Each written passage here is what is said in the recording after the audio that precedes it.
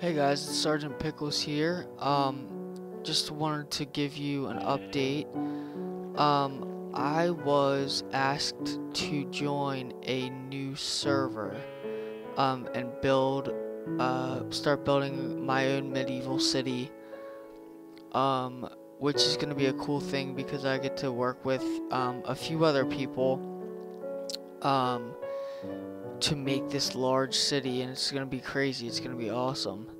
Um, so I will definitely be doing updates on that. Um, also my project is going pretty well. Um, I have some new things for that. I figured out some of the different designs that um, are gonna go into that um, regarding my castle so yeah, I just wanted to give you guys a little bit of a an update on that.